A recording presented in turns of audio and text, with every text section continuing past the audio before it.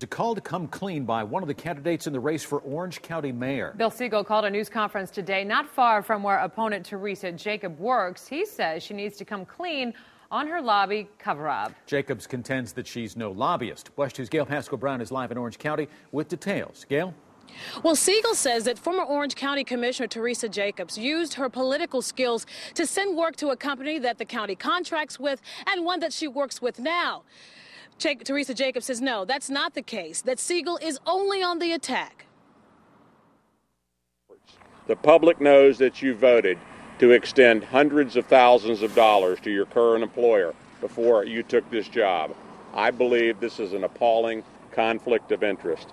Orange County mayoral candidate Bill Segal says his opponent Teresa Jacobs needs to come clean on what he calls lobbying work for government contractor Tindale Oliver and Associates, the company that Jacobs serves as senior associate. At issue, the words political skills on one of her bios, which Segal says was changed to professional background after his office spoke with hers.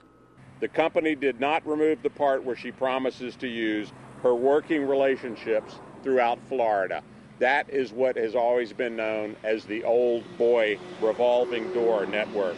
The voters saw through this whole nonsense in the primary. You know, n- nice try, but the voters are smarter than that. Teresa Jacobs says she is not a lobbyist. We caught up with her at a Rotary meeting in Apopka. I was on the neighborhood activist side. Then I ran for office and I was on the political side.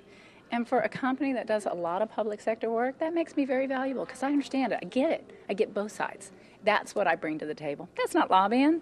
That's engaging the public. Jacobs contends there's another reason Segal is taking this stand.